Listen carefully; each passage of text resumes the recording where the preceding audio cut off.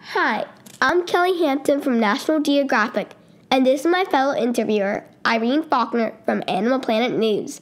We are here at the U.S. Fish and Wildlife Service in Anchorage, Alaska. Soon, we'll be interviewing Joelle Garlich Miller, a walrus expert. Speaking of walruses, that's why we're here today. A massive number of walruses, reaching up to 35,000, hauled out to the beaches of Point Lay, Alaska. Why? Well, we're about to find out.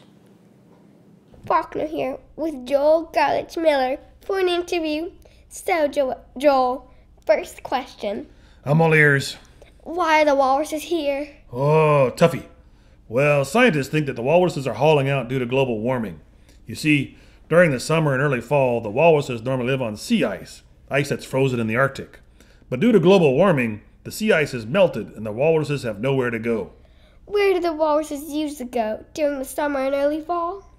They go to the sea ice, which provides them food and easy access because land is farther away from their feeding grounds than the sea ice is.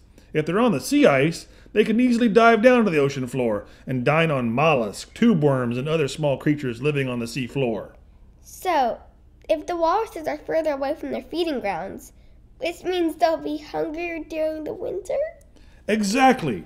You see, when the walruses are farther away from their feeding grounds, it takes energy to get there, which means they have to make trips to eat more food to develop the fat stores they'll need during the winter.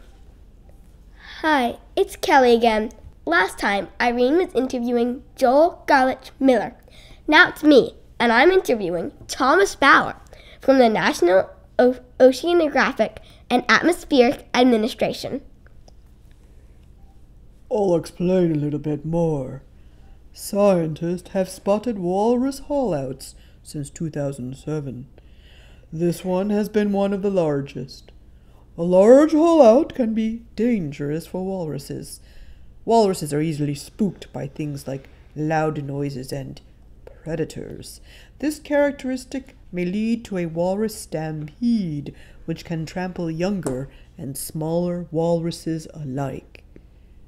When there are this many walruses, stampedes become a massive death sentence for the younger and smaller ones. We'll go over to Irene, who is with the scientists who first spotted the haulout. Hi, it's Irene Faulkner. I'm here today with Zach Cormier from the U.S. Service for the Oceans Coast Guards. So, Zach, what was it like when you first saw the walruses, and what did you think they were? Well, let's see. It was my afternoon shift when I spotted them, and I was on my jet ski. Personally, I thought they were a pile of pebbles washed up from the ocean. So I zoomed in to take a closer look. And what did I see? A massive walrus haulout. I was a rookie, so I was very impressed with myself. That kind of discovery could get me up at the high ranks. But quickly, I realized that didn't matter. What did matter was the question what had caused the walruses to haul out onto that beach? Thank goodness I had my walkie talkie on me. Why, what did you do? I called my fellow scientists to come help me count. Hi there, I'm here with Louis Cousteau, whom you might remember from our last episode. So, what do you have to tell us, Mr. Cousteau? Well, walruses were first spotted coming ashore in large numbers in 2007.